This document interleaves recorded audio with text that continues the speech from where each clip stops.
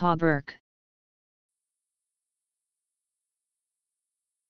A coat of mail, especially, the long coat of mail of the European Middle Ages, as contrasted with the habergeon, which is shorter and sometimes sleeveless. H. A.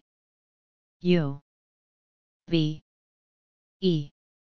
R. K. Hauberk.